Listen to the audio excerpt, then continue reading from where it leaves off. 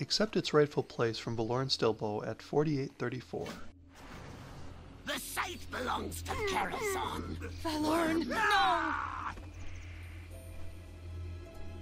He's After Ariden shows up and kills Valorn, turn the quest to Belysra.